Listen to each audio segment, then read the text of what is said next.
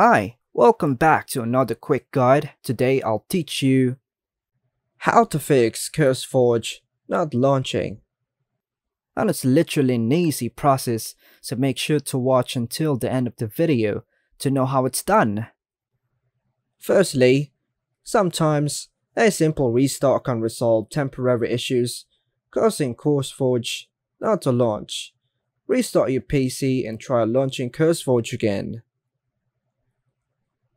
Next method, ensure that your Windows operating system is up to date.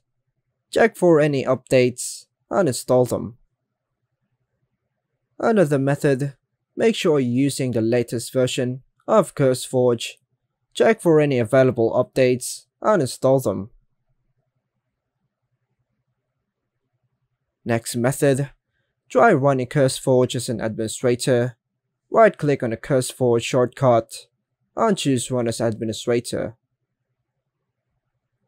Next method, your antivirus or firewall settings may be blocking CurseForge from launching.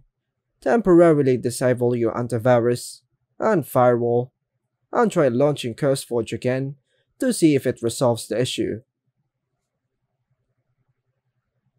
Next method, if the above steps do not resolve the issue, try uninstalling and reinstalling CurseForge. First, uninstall the application from your PC, then download the latest version from the official website and reinstall it.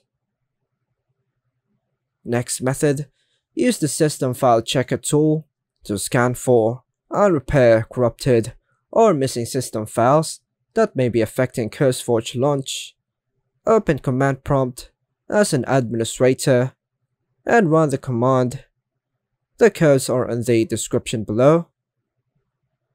Now, if you have tried the above steps and CurseForge still does not launch, consider reaching out to CurseForge support. By following these steps, you should be able to troubleshoot and fix a problem of CurseForge not launching on your Windows PC.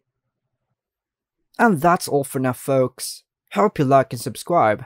Thank you.